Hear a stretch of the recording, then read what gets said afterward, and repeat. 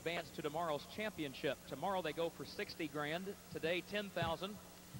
So 5,000 to win for a consolation prize, not all bad either. Here they come for race nine.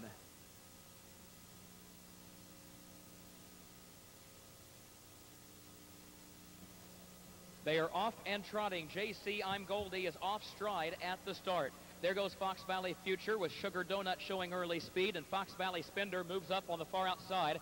Fox Valley Spender gets the lead. JC I'm Goldie is still on a break and now gets to the far outside on the perimeter of the first turn. Everyone else files by toward the inside. Fox Valley Spender leads it by two lengths to Sugar Donut.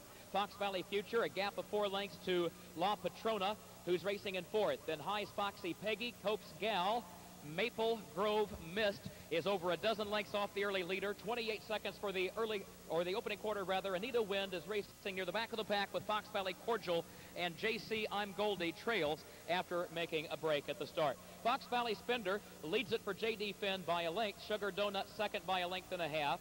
And then Fox Valley Future is racing in third. A gap of just over two more to La Patrona, High's Foxy Peggy, Cope's Gal, Maple Grove Mist, Anita Wind, and Fox Valley Cordial with JC I'm Goldie last. They got the half in 57 and two fifth seconds. Fox Valley Spender has the lead, setting a quick tempo, leading it by a length.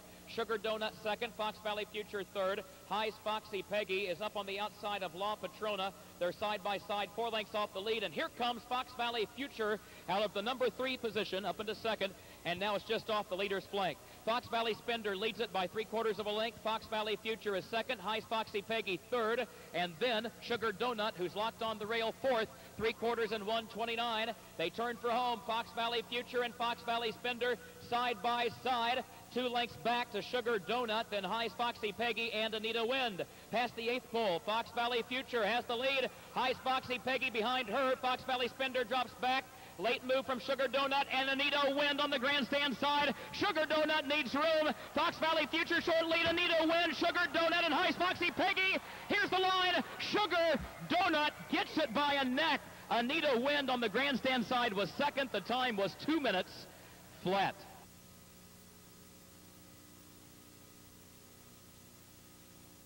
That's a photo for the win. Hold all tickets. Photo finish for the win.